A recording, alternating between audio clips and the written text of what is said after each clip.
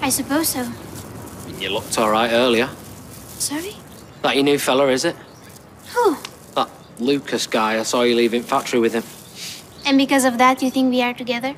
That I switch my feelings from one man to another just like that? Right, well, what are you saying?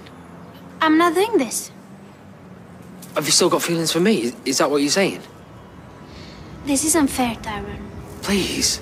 I, I just need to know if there's still a chance for us.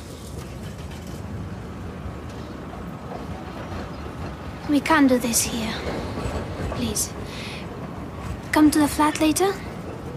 We can talk then.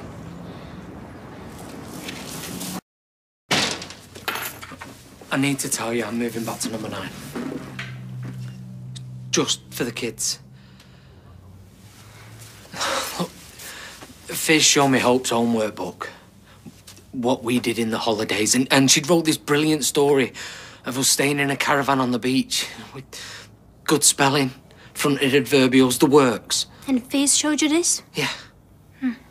The problem is, they've done none of that. All they've done this Easter is watch their mum go to pieces. Kids should never have to lie. But none of that, none of it, changes the way that I feel about you. Just go, please. Alina, Just go back to your little life.